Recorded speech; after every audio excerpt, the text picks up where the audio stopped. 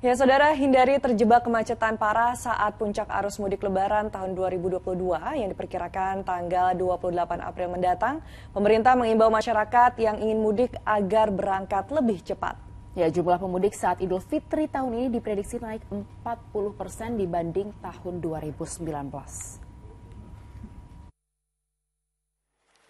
Pemerintah mengadakan rapat koordinasi penyelenggaraan angkutan lebaran 2022 dipimpin Menko Pembangunan Manusia dan Kebudayaan Muhajir Effendi bersama Menteri Perhubungan Budi Karya Sumadi, Gubernur Jawa Tengah Ganjar Pranowo dan Kepala Korps Lalu Lintas Polri, Irjen Pol Firman Santiabudi.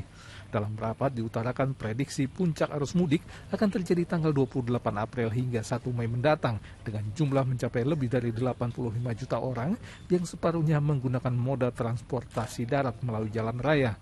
Oleh karena itu, pemerintah mengimbau masyarakat yang ingin mudik agar berangkat lebih cepat sebelum tanggal 28 April. Seyogyanya mudiklah mulai tanggal 20. Bagi rekan-rekan saudara kita yang di Jawa Tengah mengingatkan saudaranya untuk pulang lebih awal karena dengan pulang lebih awal maka jumlah yang akan pada puncak mudik itu berkurang. Untuk mencegah terjadinya kemacetan kendaraan di pintu gerbang tol Palimanan Kabupaten Cirebon, Jawa Barat saat arus mudik, pemerintah memutuskan pembayaran tarif tol baru akan dilakukan pemudik di gerbang tol Kalikangkung, Kota Semarang, Jawa Tengah. Korps Lalu Lintas Polri juga akan menerapkan sistem satu arah dari kilometer 47 tol Jakarta Cikampek sampai gerbang tol Kalikangkung Semarang kilometer 414 saat puncak arus mudik dan sebaliknya saat arus balik. Itu dari kilometer 47 Cikampek sampai 414 di Kalikangkung. Sampai sini Pak berarti? Sampai sini. Siap. Kembalinya nanti dari sini ke 47 atau sampai Halim. Itu harus puncak nanti di tanggal 7 tanggal 8. Namun hingga H-9 Lebaran, arus mudik di gerbang tol Kalikangkung, Kota Semarang, Jawa Tengah belum menunjukkan peningkatan jumlah kendaraan yang signifikan.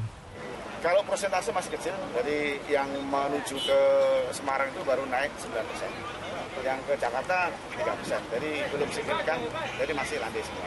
Polisi mengimbau kepada para pemudik yang akan masuk ke Jawa Tengah untuk selalu berhati-hati. Dalam ruas tol terdapat sejumlah titik rawan kecelakaan yaitu di Ungaran, Brebes arah Banyumas, dan Purbalingga serta Batang. Di lantas Polda Jateng juga sudah mendirikan pos pengamanan di lokasi tersebut. Ali Mustafirin melaporkan dari kota Semarang, Jawa Tengah.